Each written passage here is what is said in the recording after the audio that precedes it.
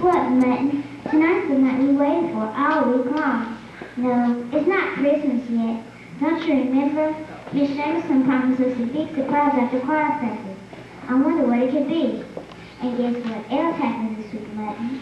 Don't tell me you forgot that, too. Your birthday, Kelly. We were both brought to this orphanage on Christmas Eve six years ago. Oh, Mutton, I know you're just a toy, but I love you so much. I could have gotten a better friend anyway. I hope we'll always be together, Christmas night.